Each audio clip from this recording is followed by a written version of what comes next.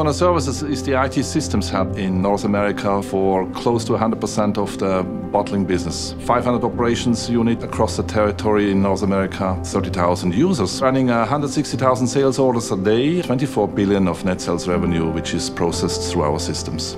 The Coke business is a 24 by 7 business. We're either manufacturing, selling, or delivering product almost around the clock. It's a very intensive business with data moving everywhere. A lot of the work that's been done in the last year with CONA Services has been to optimize how we're running our platforms. So by moving some things into Azure, we have seen a huge reduction in some of our cost structures versus running servers and uh, technology on premise. Having stable environments allows both us and the business to focus on differentiating things. It allows people to invest energy and time and money on those things that will be different and gives them competitive edge. Data was critical because historical patterns were not valid anymore. Consumer patterns changed, retail patterns changed, and our people needed to re react to those. CONA's operations relies on data. As business expanded, we had to add two nodes every three months. Our strategy was simple, run fewer number of nodes, which mean lower runtime cost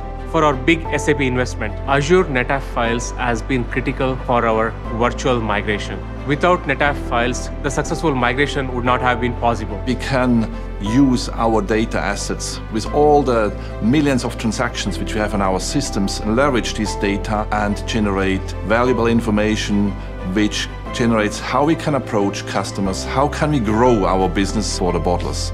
With the real-time data that we were providing, our bottlers could leverage this and maximize and optimize their distribution, manufacturing, and sales. We can't stop the future. We need to be ready for anything because the future is coming faster than ever expected.